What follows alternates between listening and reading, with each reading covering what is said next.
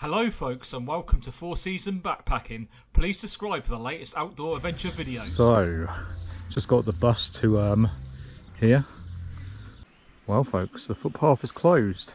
I'm not sure why, but there's something here. If you wanna, I don't, don't know if you can read that. If you wanna pause it and read it, I'm trying to focus in on it. Hopefully, you can pause it and read it. There's a red squirrel ranger.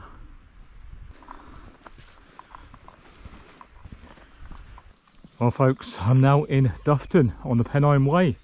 Last time I did this bit of the Pennine Way, it's back in 2015 when I walked the length of Britain on the end-to-end trail, John O'Groats to Land's End.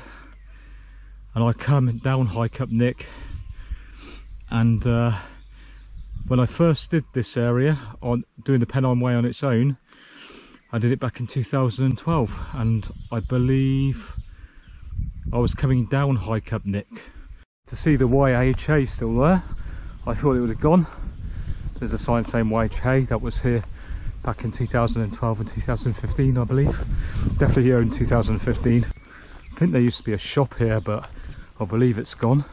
Oh actually, having said that, looks like there's something open here. Could be a shop. Looks like it's still got the pub. The Stag Inn's still there. I'm sure something was closing down in this village I read yeah, I had a drink and uh, some burgers in there when I was doing John O'Groats to Land's End. I stopped here. It's the only place I could get some food when I was here in 2015, I think. Some information here. I don't know if this was here when I was last here. Dufton Book Exchange. So there's some information about the uh, Pennine Way. Um, and then there's some information about uh, Dufton here. Some more information if you'd like to pause it. Looks like an old chapel. Yeah, some kind of chapel. Can't remember this, but apparently it's an army training area. But the red flag's down at the moment, thankfully. There's some information about it here if you want to pause it and read about it. There's um, telephone information there. But yeah, this is the Pennine Way going up High Cup Nick, which is three and a half miles according to this. Seeded. the long walk up, actually it's a short walk up, just a bit steep in places if I remember rightly. Still going up, up. I can't even see High Cup Nick yet, I thought I did, but bear in mind it is a while since I've been up here.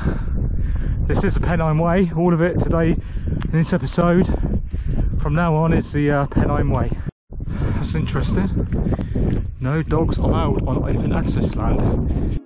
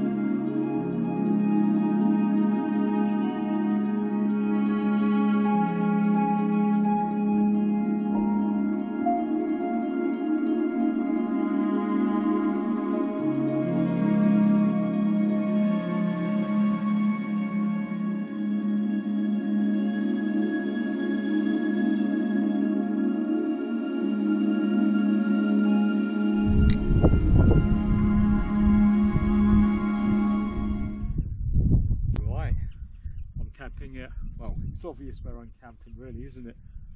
Uh, actually, I won't say on here, but well, it's obvious where I'm camping.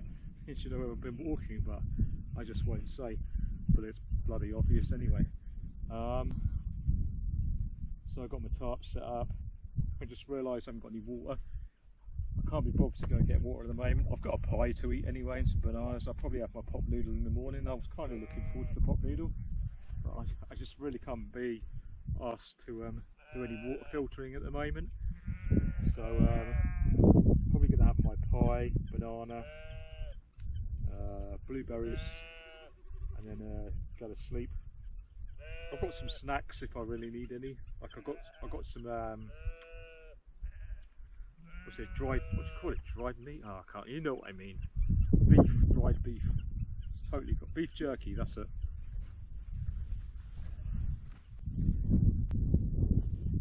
Good morning, folks. Well, it was a really nice sleep.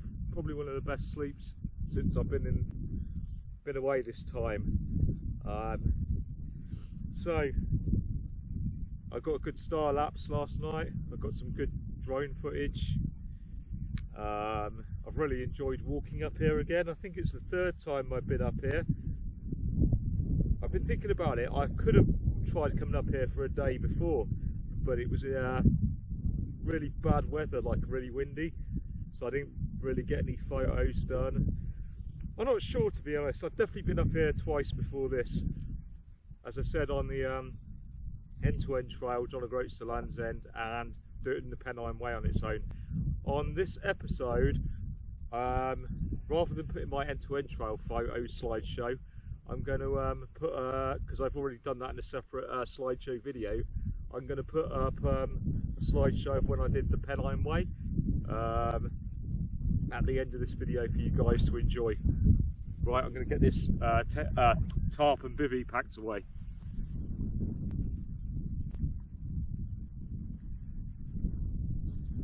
So that's me all packed away, ready to go. No trace left, all the rubbish has been picked up and be put in the nearest recycling or bin. Right, I'll be on my way. Oh. Oh, and I'm going to be walking back down the way I came up, but going back at the end, slightly different way to a different town. Uh, but I'll be following back down the Pennine way I came up.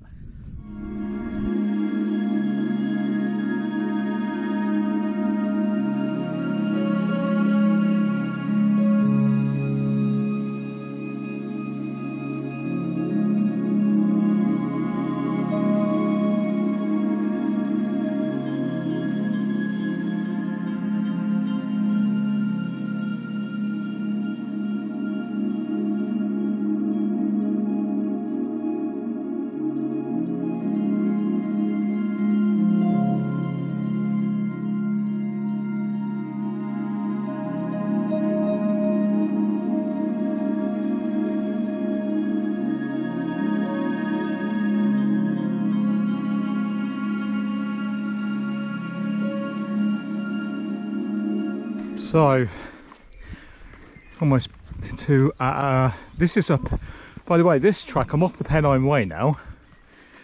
This track is called a Pennine Way Journey, I believe. Might be an interesting track to look at, I'll have a look at it later on. But um, I'm heading towards Appleby on the Moor, I think it's called.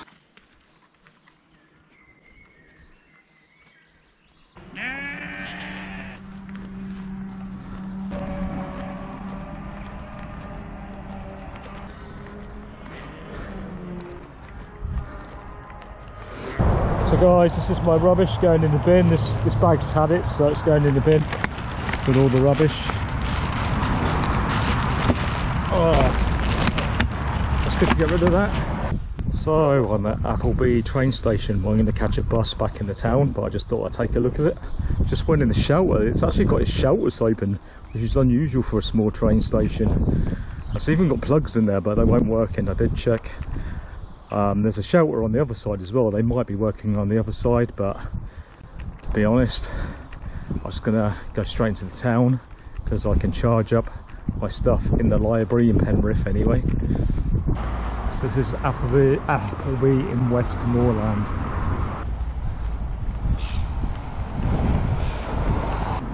It's a lovely little village or town. I think it's a little town.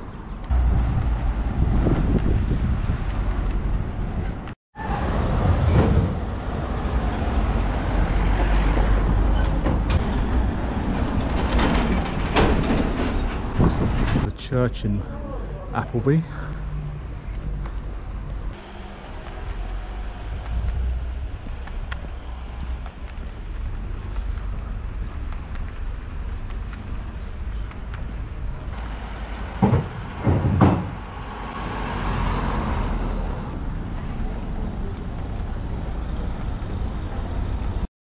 Yeah, if you want to come to Appleby on the Moor, or the other place I started from, it's bus number 563 stagecoach from Penrith.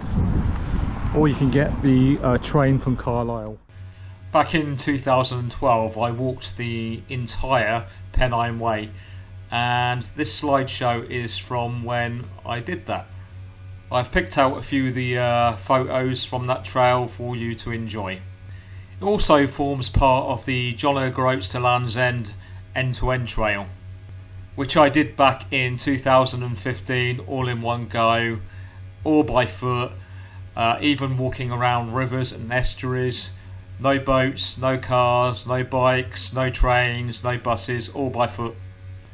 It worked out almost twice the length of Britain. I'll put a link on this video and in the description for the wild camping spots I did on the end-to-end trail John O'Groats to Land's End. Enjoy my slideshow of the Pennine Way.